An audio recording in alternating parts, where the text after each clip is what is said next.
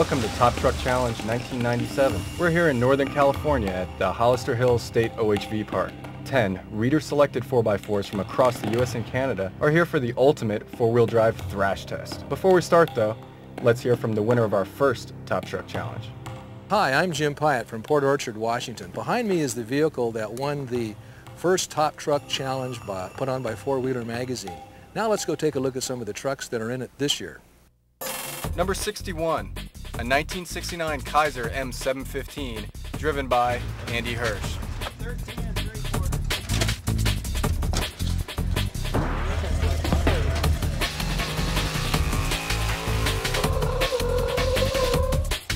Number 44, a 1965 Toyota FJ40 driven by John and Jim Allen.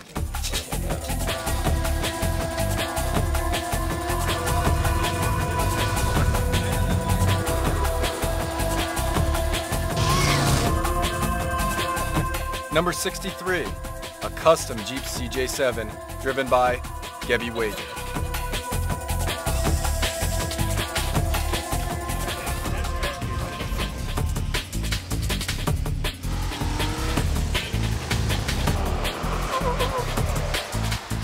Number 12, a 1997 Jeep TJ driven by Philip Smith.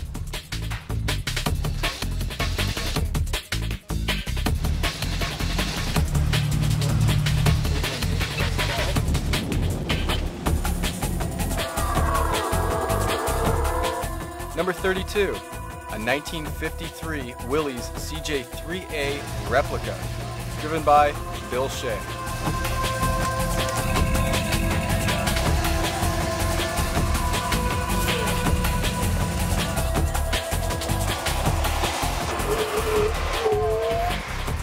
Number 19, a 1996 AM General Hummer, driven by Sam Stein.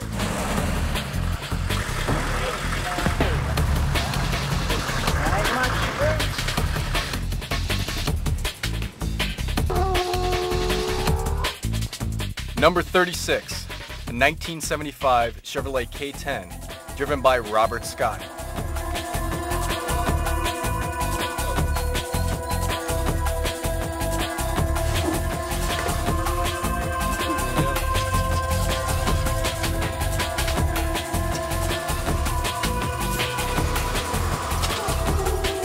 Number 59, a 1988 and a half Suzuki Samurai, driven by Glenn Wakefield.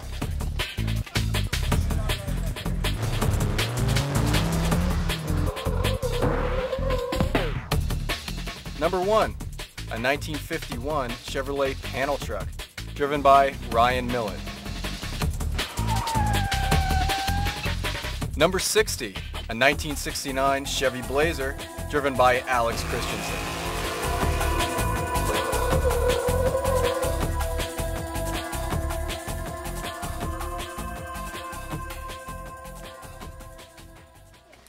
I wanted something that I could take my family with me to go four-wheeling. So it had to be something with a hard top. TeraFlex arms are a good upgrade on the suspension system. They keep you from And these up. side plates, this is eighth-inch steel riveted to the body just in case a branch or small rock or something gets up under the Nerf bar.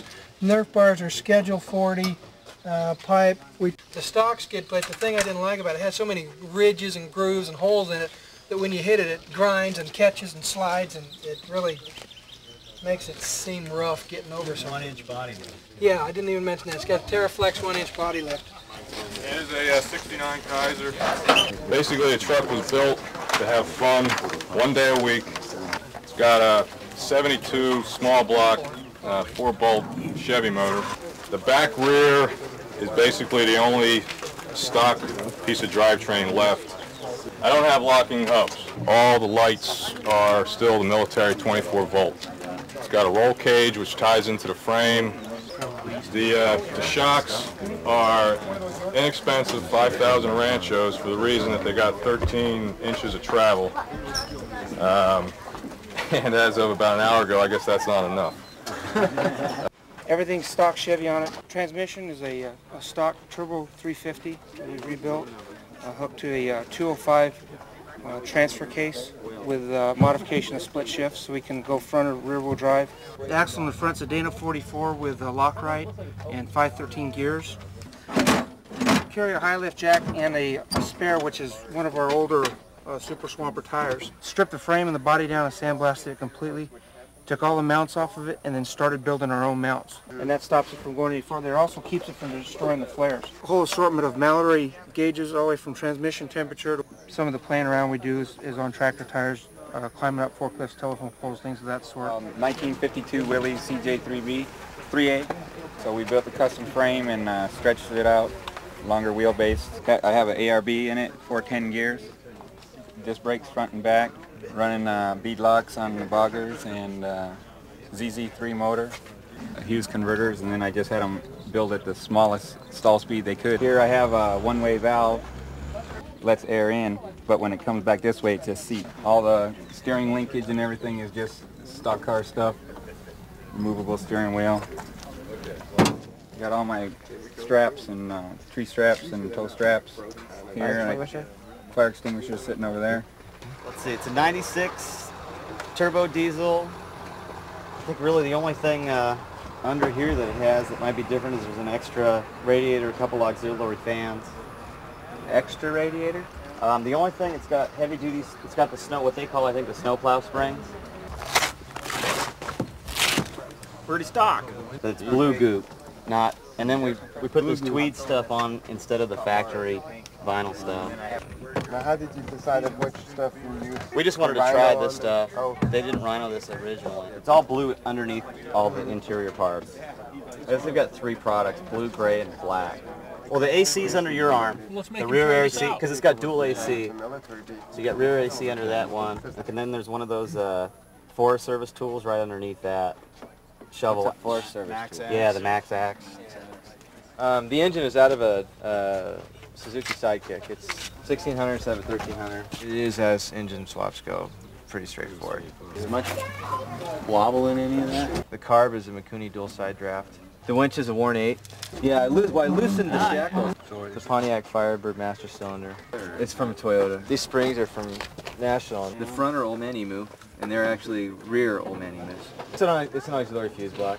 Actually, no. Those are in the same forward back position. Right. So the front of the spring sticks so out further. forward. Everything's so the axle's forward. a little further forward. The axle's a little further forward. The windmill that powers the plant? I have plans to put a hypno wheel on it, so people are driving behind me, they start, you know. it's a 75 K10 pickup. It's been all converted over to one-ton running gear. Running a Detroit locker in the back, 488s, power lock up front, same ratio, and just quite a few cosmetic accessories that are on it. For all the lights and accessories, I've got an Optima battery, then an, also another Optima. But I got to relocate the gas tank, but the Suburban gas tank fits right in the middle. Uh, KC red and blue flashers in the middle, which I have to leave covers on for that. What's the tranny? T18 or Chevy? Chevy. Rides like a brick, you say? Rides like well, a rock. Yeah. Rides like a rock. It does flex now, though. Rough roads, you start feeling the grooves. Yeah. It gets a little on the scary side. You just got to have to know how to handle it. Don't we'll overcorrect. find out in the ride and drive. We will.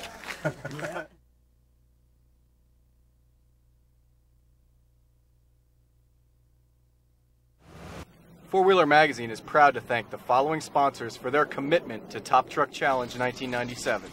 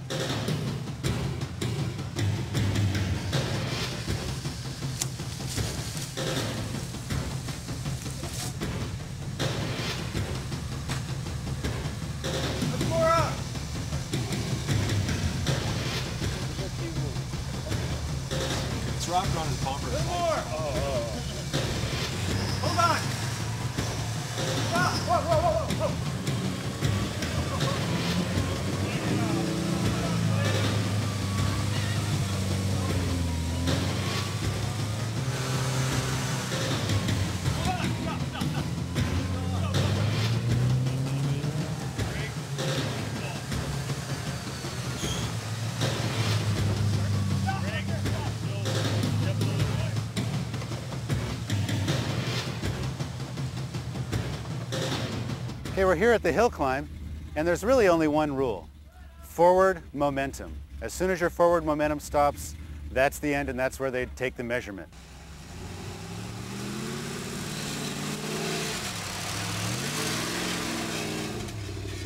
The rangers here at Hollister have taken great pains to make this year's hill climb the most difficult to date. They've set up a series of steep and silty barriers that will have both long and short wheelbase trucks hunting for traction.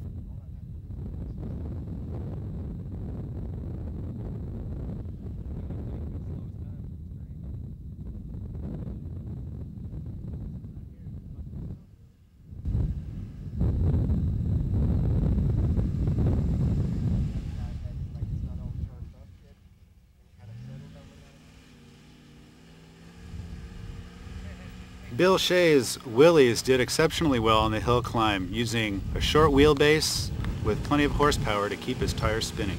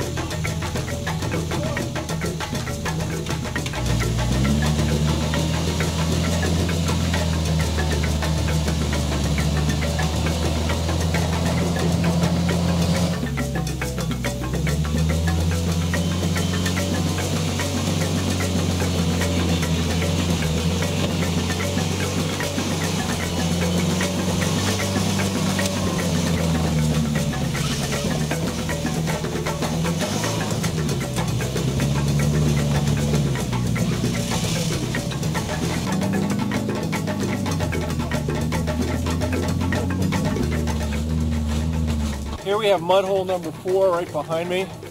We're setting up the winch point because we're pretty sure we're going to have to winch. We have the Samurai coming up. It's been winching. Been on the course for quite a few minutes now, 15 or 20 minutes at least. Winching slows them down.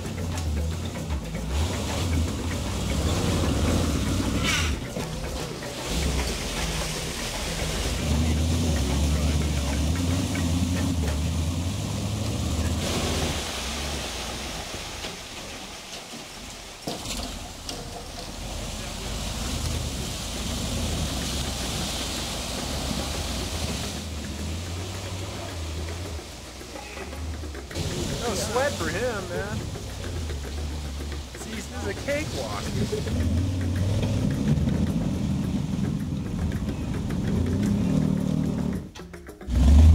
He's up the cliff, heading on. was broken in the trail and he went to camp to get parts. Uh, he's still on the clock. Driver ran back to camp to get a, uh, a tie rod end, and uh, hopefully we can get her up and running again and get out of here. Basically, you want to go between these two cones, and then the games begin. From here on, you're in the mini Rubicon. You've got 20 minutes to do this. The cones mark the perimeter. The perimeter is basically the edge of the rocks all the way through. I don't want any tires outside of them. Other than that, you're pretty much free to run any line that you want. You guys can take some time, take a look through here.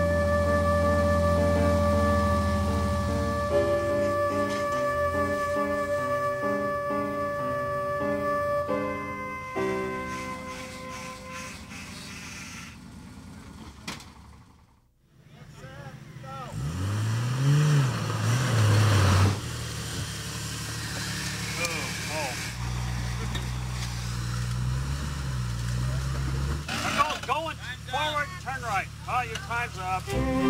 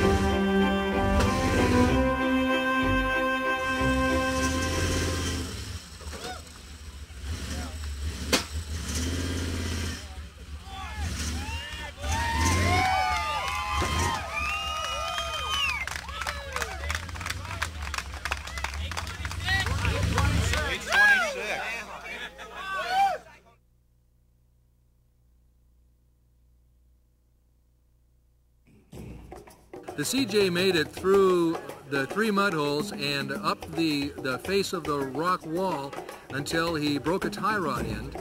And now he's down repairing the tie rod end. And the way he's able to do that is he had to raise the right rear tire. He winched a winch cable up to a tree, uh, through a snatch block, down to a roll bar, lifted the side of the CJ up. That wasn't quite enough, so he added air to one side, took air out of another side, lifted his tire up into the, the wheel, wheel well, and now he can move the tire to the point where he can install another tie rod that he has with him. I still can't believe that's all that's holding this 44 in position. It is, it's, basically it was an experiment.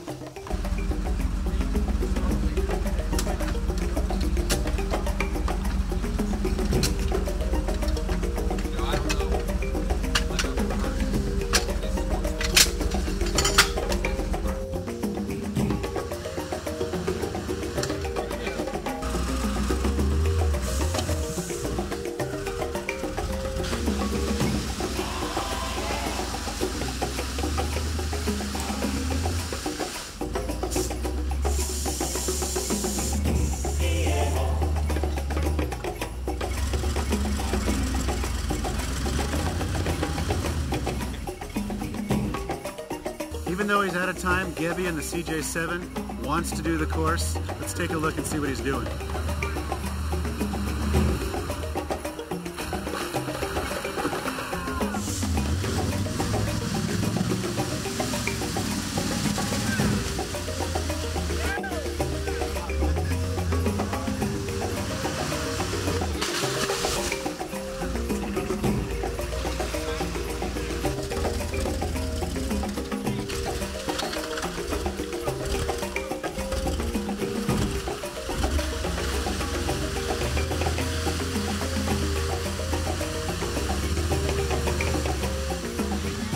CJ left Mark, he motored up the last large berm through the last very deep mud hole and right on out the course.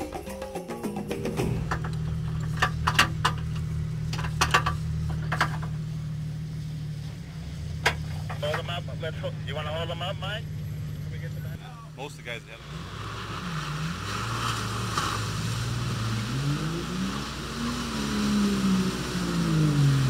As you can see, even with 410 gears and a Lock-Right in both differentials, Phil Smith's TJ comes up a bit short in the mud pit.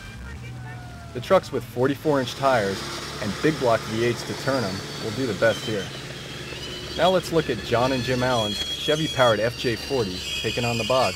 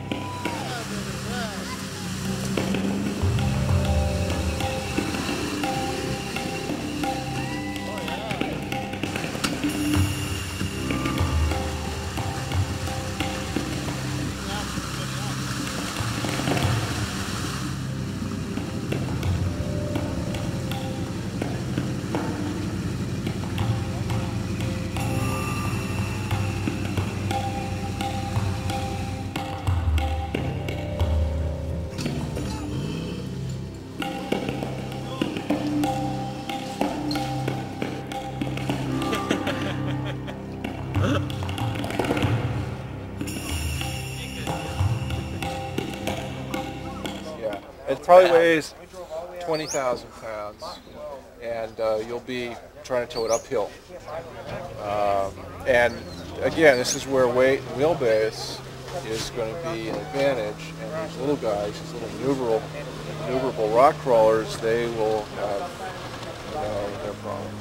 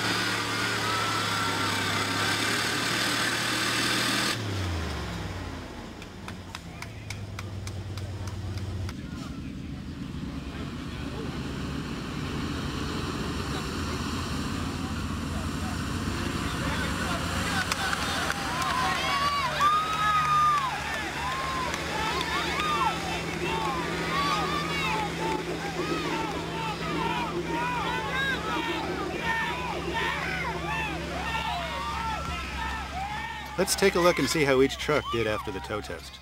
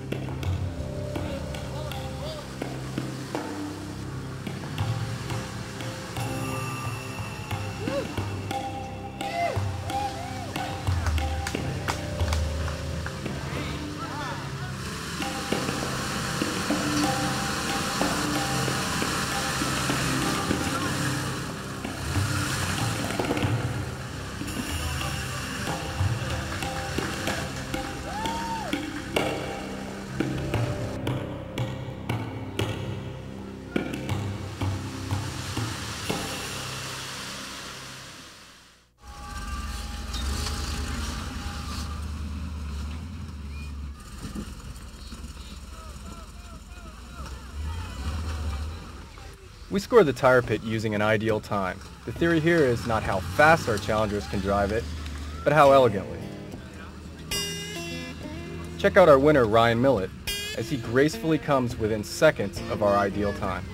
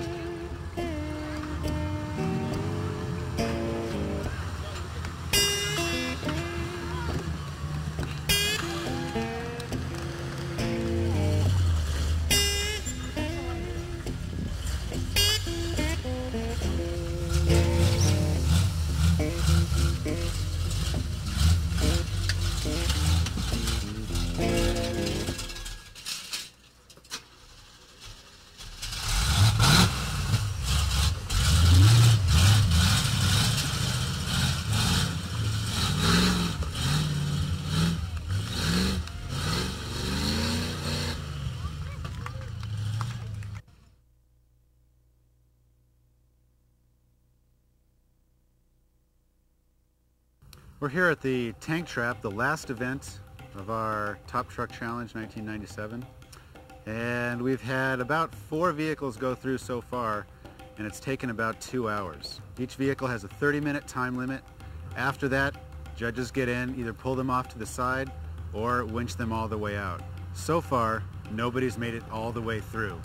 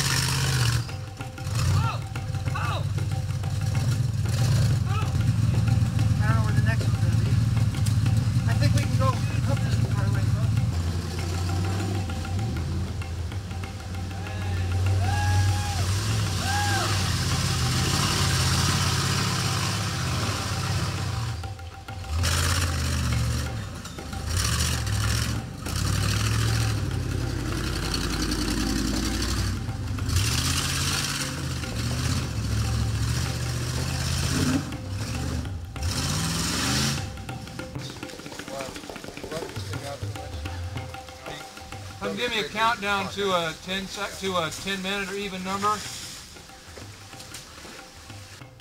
Fred. There we go. Get the hell out of the way for this.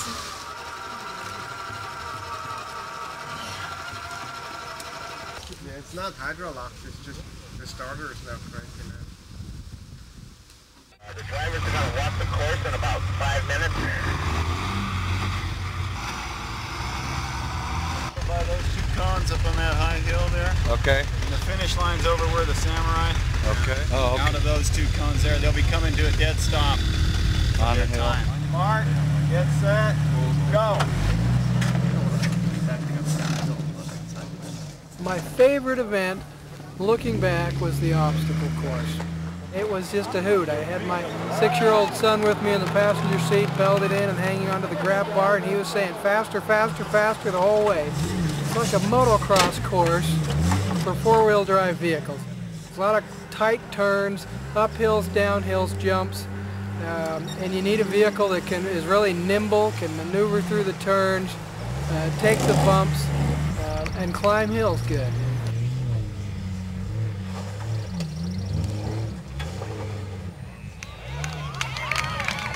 My strategy on the obstacle course was to go as fast as I could without one single mess up.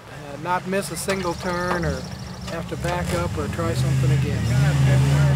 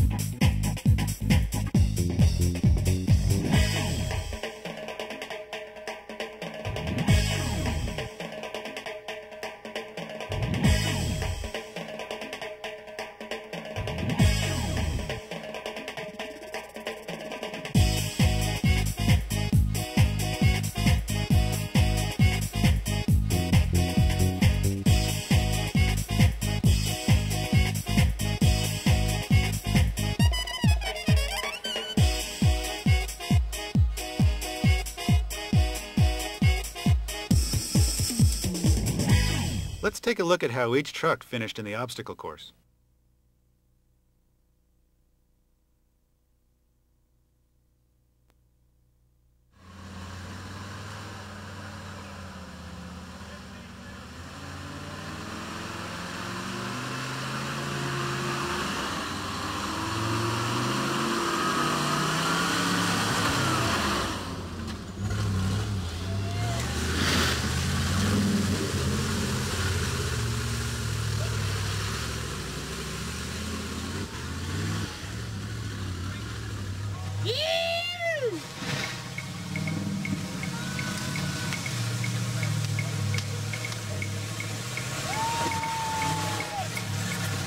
Go for it, Andy. Go. Woo. Let it go.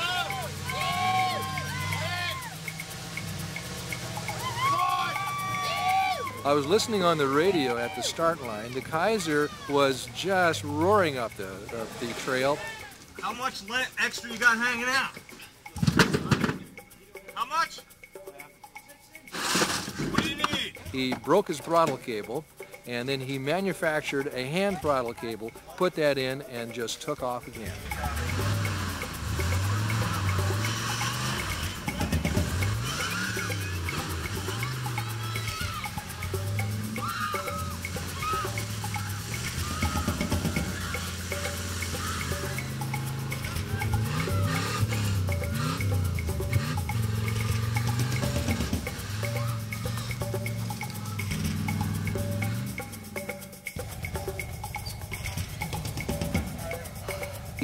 To uh, this hole right here, I believe it is, and his drive shaft pulled out.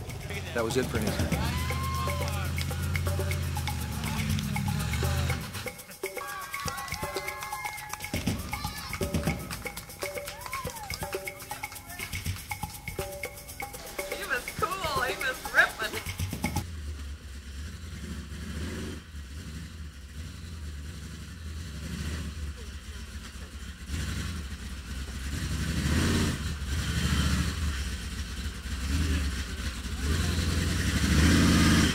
Frame twister, nicknamed simply Twisted by some competitors. This short, man-made trail is filled with off-camber concrete slabs and lots of water. Serious suspension articulation is a key to success here. As we move down the trail, slippery telephone pole-sized logs are spaced just right to get almost any wheelbase into a serious jam.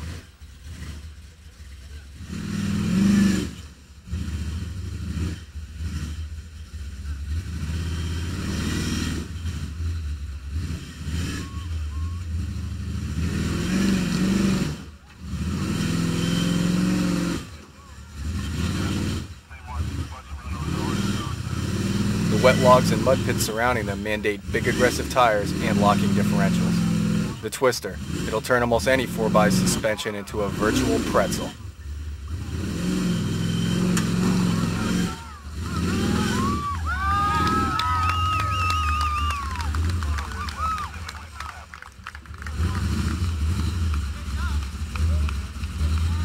Get set. Go.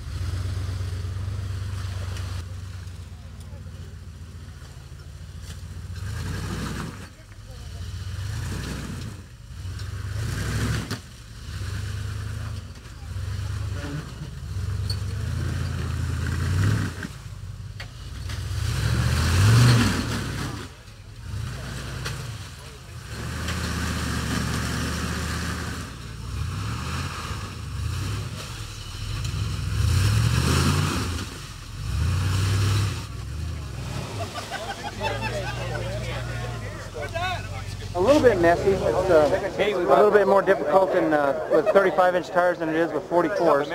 Um, suffering from ground clearance and, and tire size. Uh, other than that, we tore it up really good for the rest of the guys, so that's real important. You know, if you, you can't get there, destroy the route.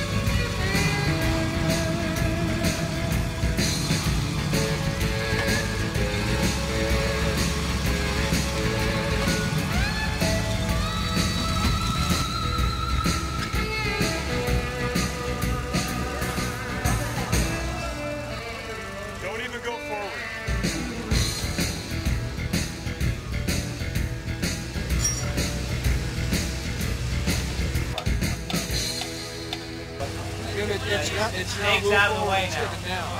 sticking down. Yeah. It's angled like this now, in the ground. Good.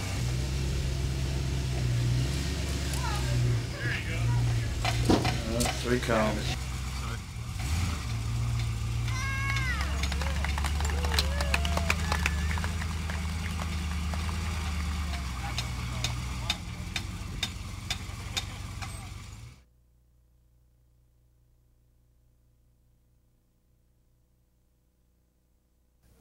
the tank trap. This, I think, is berm number five. I'm standing on. In front of me is a pool of water. It's about as deep as my neck.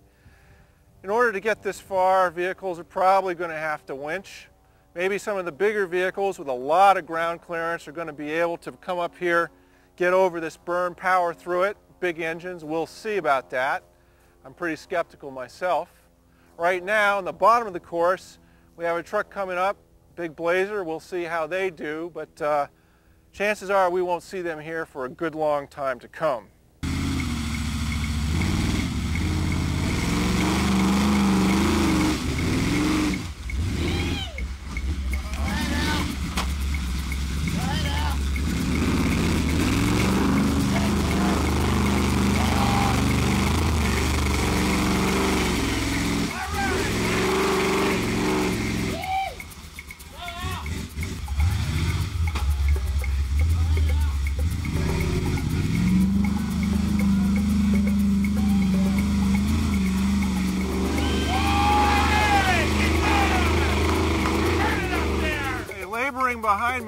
Blazer. This guy is uh, really coming up. In fact, I'm going to move out of the way. We'll see how he does.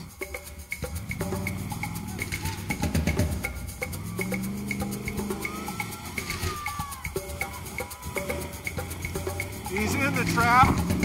He's in now, and he is really powering through. That's unbelievable. Unbelievable. Look at him go. That's the best we've seen so far. Not stopping. That's mud hole number five. Uh, I don't know what his time is, but it's got to be very fast. I don't think he's had to winch yet. We'll see what's happening. There he goes. He's heading up now to mud hole number six. If he gets through that, he'll be uh, in first place.